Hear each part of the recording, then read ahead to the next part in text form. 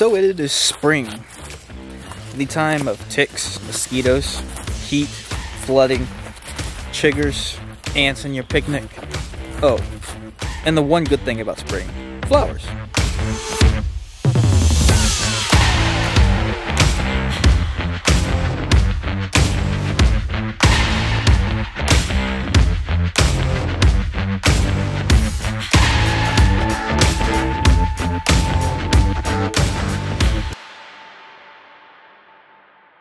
So today I've got two goals in mind. I want to get a nice photo of this right here, which this is something called Spicebush, I do believe.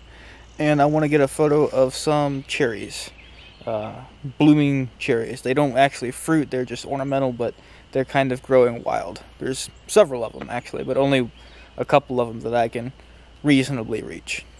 So let's focus on these first. And the equipment I'm using today is my Canon 6D Mark II with a 7, 24 to 70 f2.8L Mark II lens and a 21 millimeter extension tube to let me get real nice and close.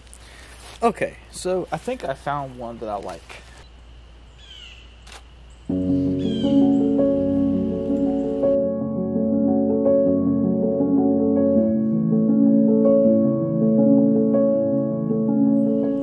So what I decided to do with this particular photo was I wanted to have this branch in the upper left leading down into the frame and we have this main branch that's in focus that's extending upwards with two flowers that are relatively in focus, one that's really in focus.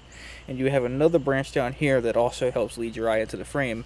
And we've got some really nice bokeh in the background from the other flowers and stuff. Okay, so we're at the cherry tree now. I don't know how well you can see these blooms right here. But I've already spotted a composition that I want to try. With flowers, what I like to do is I like to get low and close to them so that, that way you're at the perspective of another bug, like a bee or something. Now we're in manual focus. And I think I'm going to do a vertical for this one and I hate using a tripod. I shoot almost everything handheld because I just hate using a tripod so much.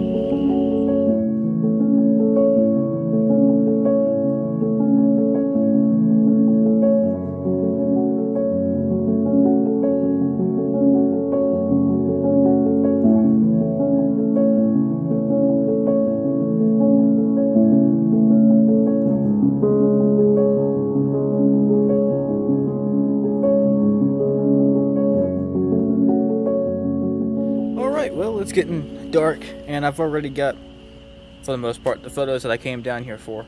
This is literally just a walk down in the woods to grab a few photos of this and the other one. So, with that said, I'm going to go and get these edited up. You've already seen them, and I'll see y'all in the next video.